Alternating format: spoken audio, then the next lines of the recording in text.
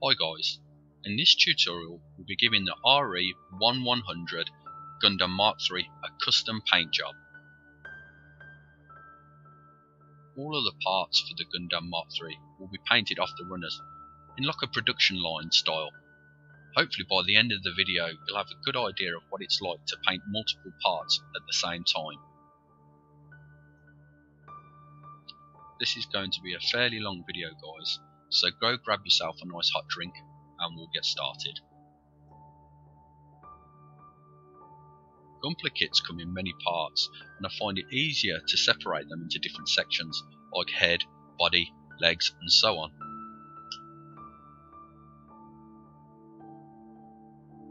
I picked up some barbecue skewers from my local supermarket. These are absolutely perfect for holding the parts on. I'll make a stand for the barbecue skewers, just sellotaping some sheets of cardboard together. I use polystyrene also, but it can get quite messy.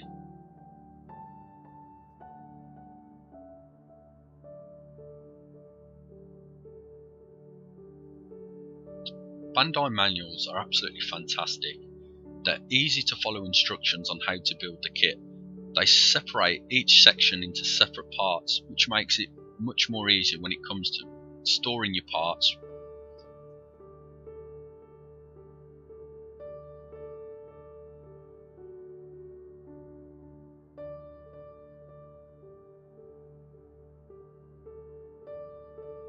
I cut the parts off the runners leaving big nubs behind. If you cut too close to the part, you risk indenting the plastic or damaging it.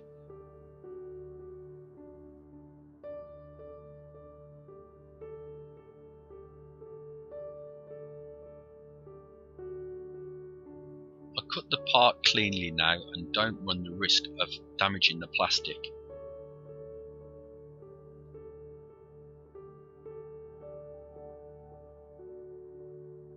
scraping any excess plastic that's left behind from the nub.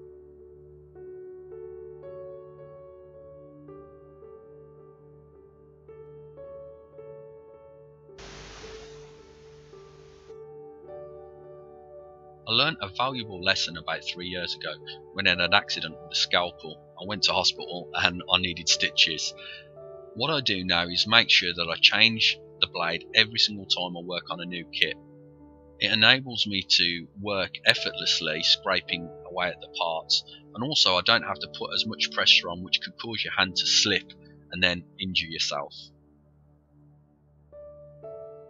Here you can see how effortless it should be using a new blade to remove a mould line.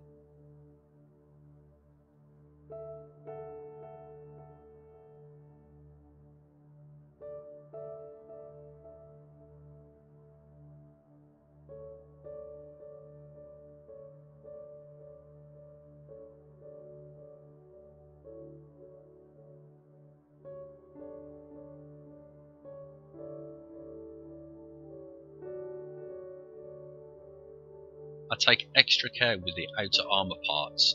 I make sure that any areas where there was nubs is super smooth going in with 1000 grit sandpaper and then finishing it off with a buff stick.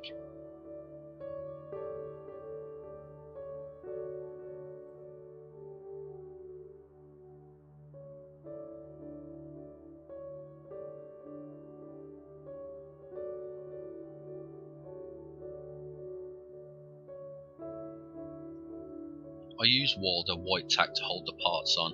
This has got a really great adhesion, but you can use general blue tack.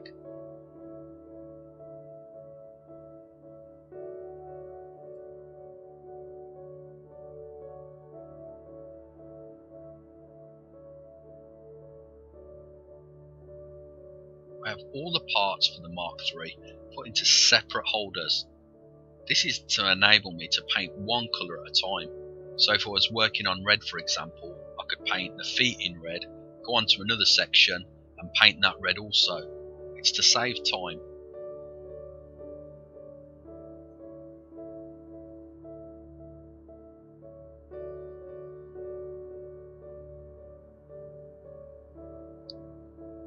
I have the body section in front of me, but Here I'm just taking off all the individual parts that are eventually going to be grey and leaving the other parts that are to be painted in a metallic colour for afterwards.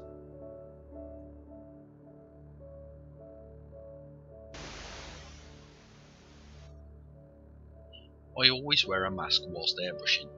It's really important to protect yourself from the atomised paint, especially the more harmful lacquer paints.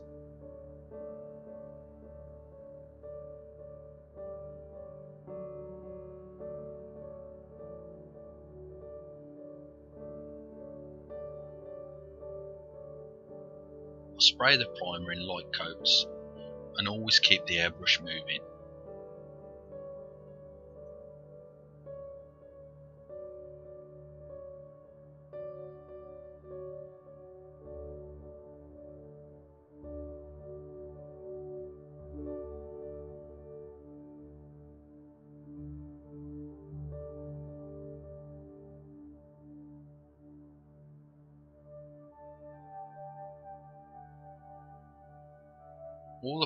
That will eventually be red are pre-shaded using Vallejo Model Air Mahogany. I'm also using my brand new airbrush. It's the Iwata CMB. It's an absolutely fantastic airbrush and it's designed to get the most minute detail down. I dilute the Vallejo Model Air one to one with airbrush thinner and as you can see here I'm able to get really thin lines.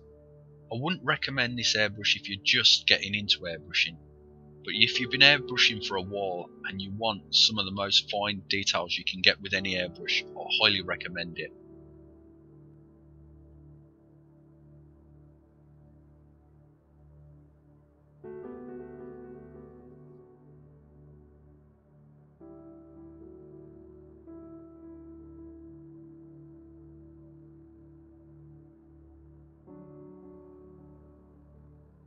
I wanted subtle shading to show through on the Mark III, but if you want a more dramatic shading effect, you can change the paint from mahogany to a dark brown, or even more extreme using black.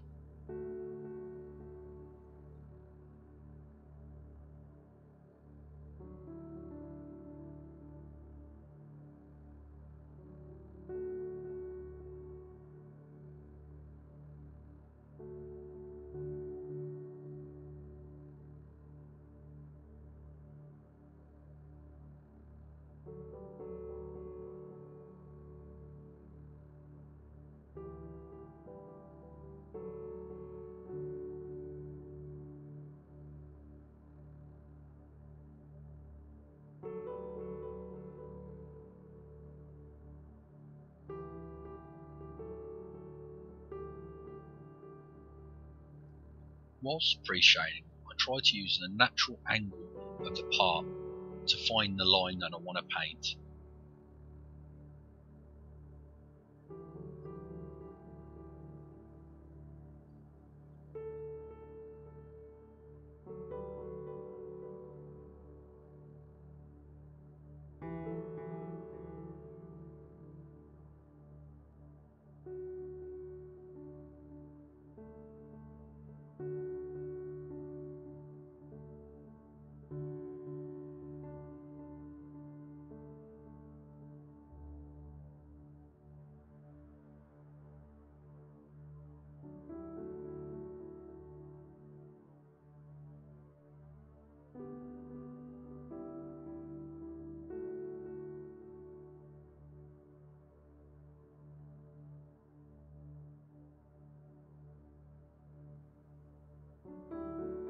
Going over the pre-shaded parts with Vallejo Model Air Scarlet Red, and as you can see, the pre-shading is very subtle.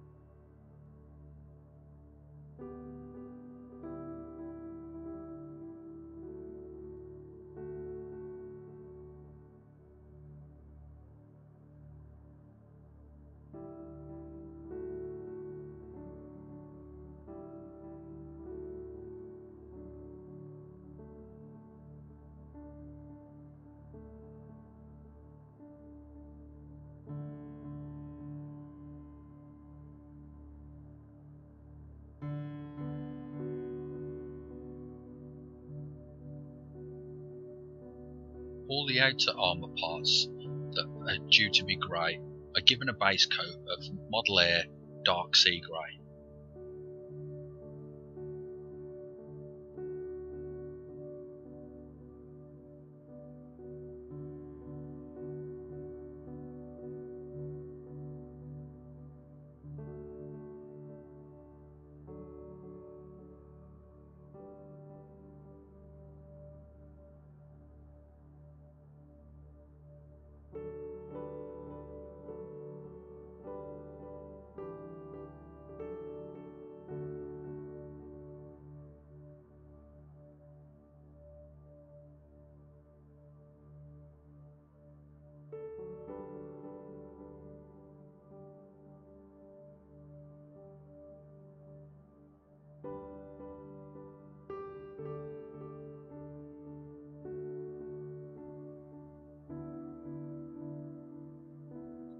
All the parts that will eventually be chrome need a base colour of gloss base primer from Alclad.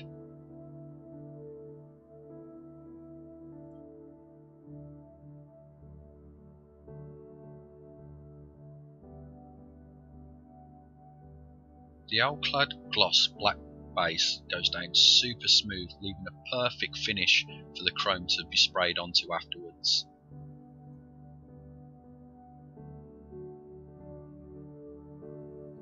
Here's another look at the production line, and as you can see, I've finished all the red parts and the grey parts.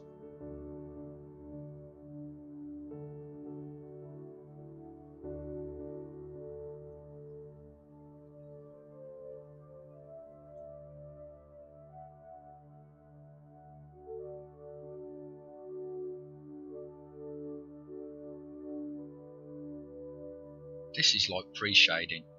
What I do is leave some of the dark sea grey behind in all the recessed areas, but spray the lighter colour on the topmost raised surfaces.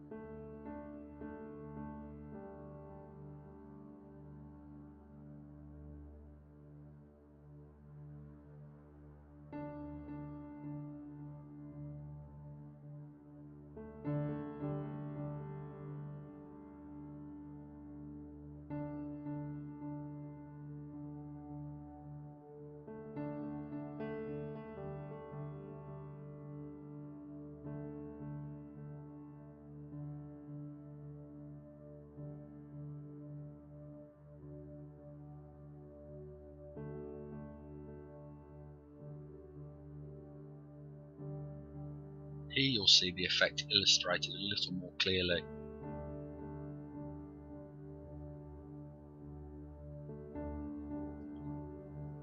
I'm trying to work on one tiny section at a time, airbrushing a little paint and then moving on to the next section, just leaving a little bit of that dark sea grey behind.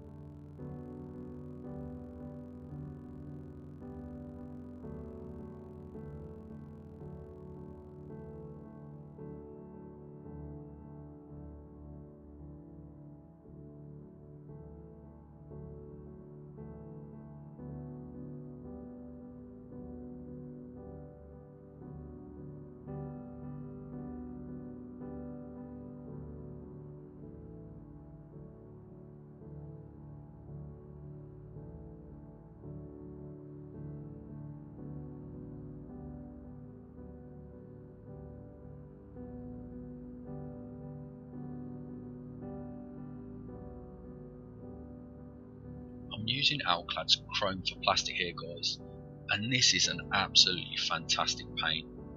The shine develops straight away and as you can see it's super reflective and looks very realistic.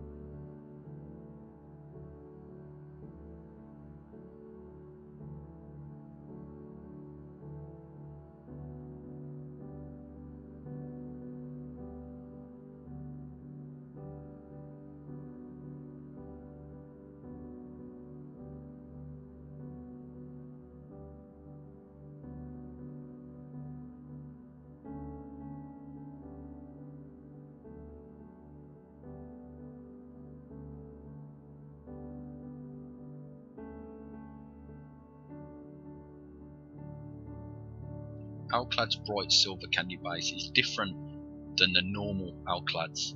This can be painted on raw plastic unprimed. You don't see the effect of the bright silver candy base for about an hour. As the carrier evaporates, the shine develops.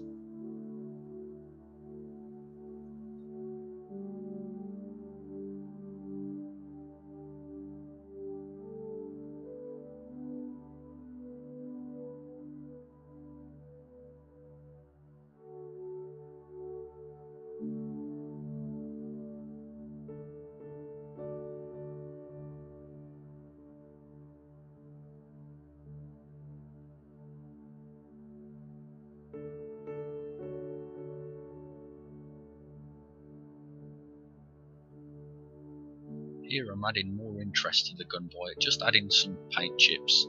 It'll help some of the panels pop out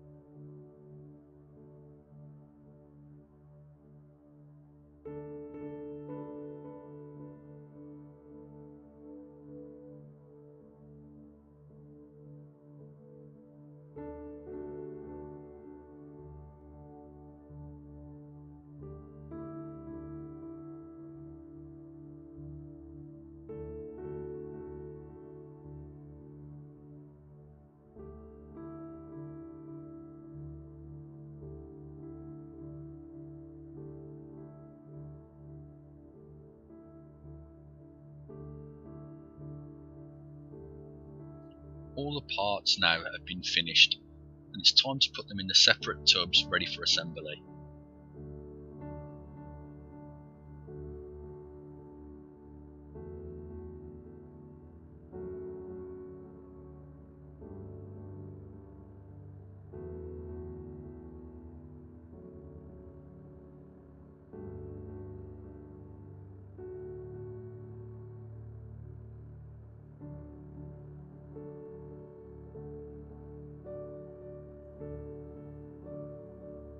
Just going to be adding a panel line wash to help make the parts pop.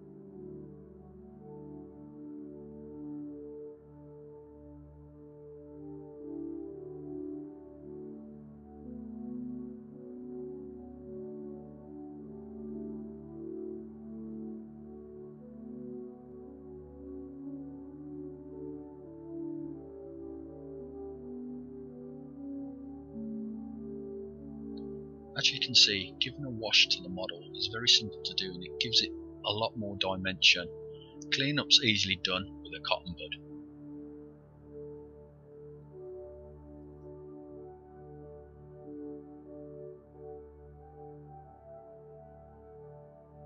I know the lighting in this video is not the best. I've just recently upgraded the lighting in my loft so hopefully future videos will look clearer. But I still hope you enjoyed it and if you did, please tickle the like button and also share this video among friends. And thanks for watching guys, I'll catch you in the next one.